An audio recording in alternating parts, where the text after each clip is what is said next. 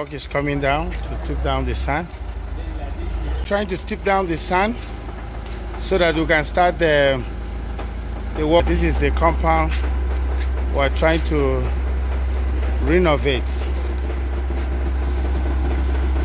As you can see, there's a lot of uh, cracking wall. It was, it was another contractor that built this place. So Living Solution is called to renovate and make it looks like a living home. As you can see, uh, by the time we finish this renovation, I promise you it will look very beautiful and you never imagine that this is the place. Right, as you can see, the wall is having crack everywhere.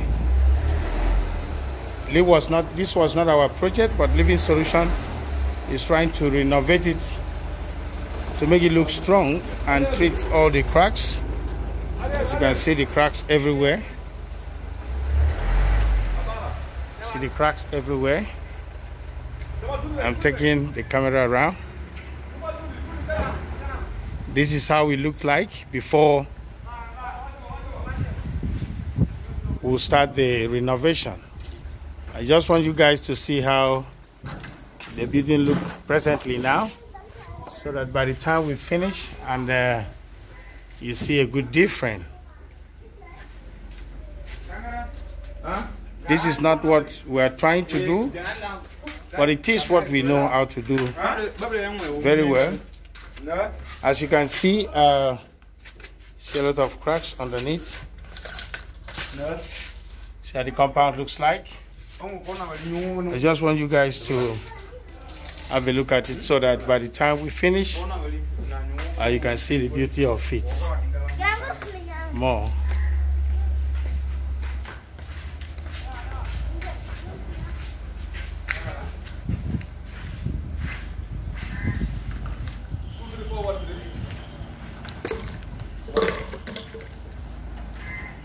That is Mr. Stom Tambolo, the sand contractor. All right, guys. All right, thank you very much. Uh, just wanted to show you the compound round. As you can see, uh, just want to start the renovation work now, as you can see.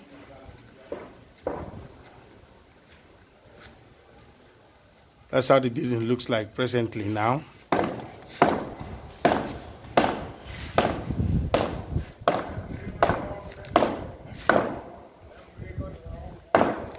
Can see the team of Living Solution have started doing something.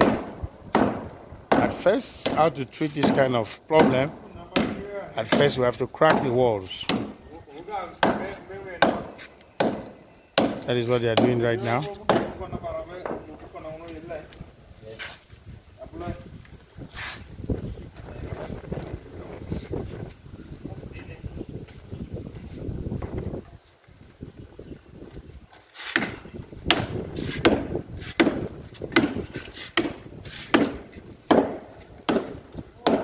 We are still uh, at Brusubi for the renovation.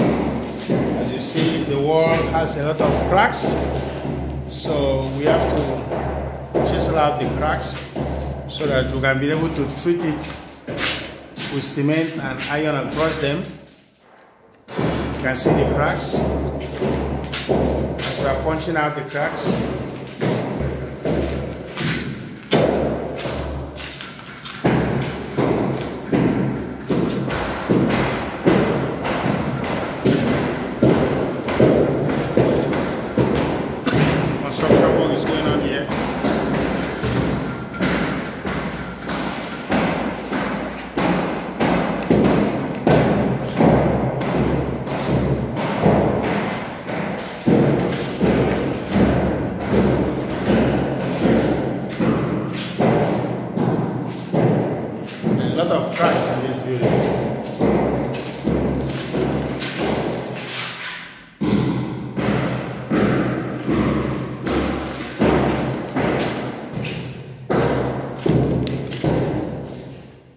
Living Solution Engineering is taking part in renovation this building